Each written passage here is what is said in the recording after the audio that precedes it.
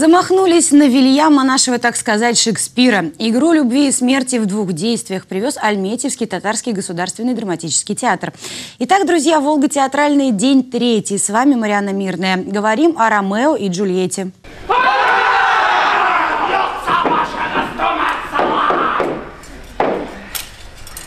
Альметьевский театр был основан еще в 1944 году и до 1989 вел исключительно кочевой образ жизни. И только в конце 20 века труппа обосновалась на одном месте. Театр вырос в государственную глыбу и не раз становился лауреатом всевозможных конкурсов. Особенно полюбился актерам фестиваль «Волга театральная». Ой, это для нас большая честь.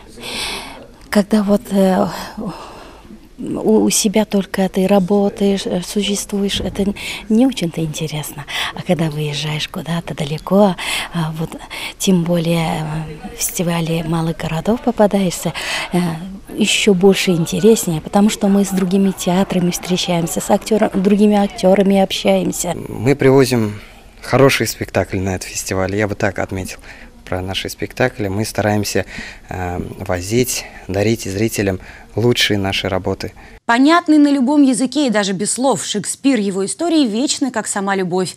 Безусловно, смотреть спектакль на татарском языке пришли его носители, проживающие в Самаре, но и славянских представителей в зале было предостаточно. Отношусь с большим интересом, как бы я и всегда любил театр, был в филармонии, несколько спектаклей, и жду, не знаю, хорошее впечатление. Я, я, к сожалению, не знаю татарский, но думаю, наушниками тоже пользоваться не буду, поскольку рядом со мной будет носитель языка. Думаю, будет помогать в каких-то моментах, когда я буду не понимать что-то. Ну, я много на каких языках в своей жизни спектакли смотрел, поэтому это, в общем, не проблема, это нормально. Два года назад на первой «Волге» театральный татарский театр взял целых две номинации за лучшую режиссуру и за мужскую роль второго плана. Коллектив признается, награды не только приятные, но и престижные.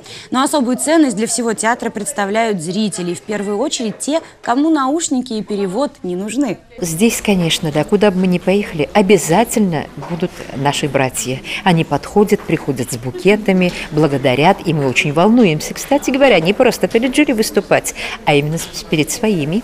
Поэтому э, я думаю, что вот на сегодняшний спектакль тоже пришли наши штатары. Они, наверное, очень благосклонно отнесутся. Завтра я продолжу рассказывать вам о спектаклях участниках фестиваля «Волга театральная». Ждите новостей. До встречи!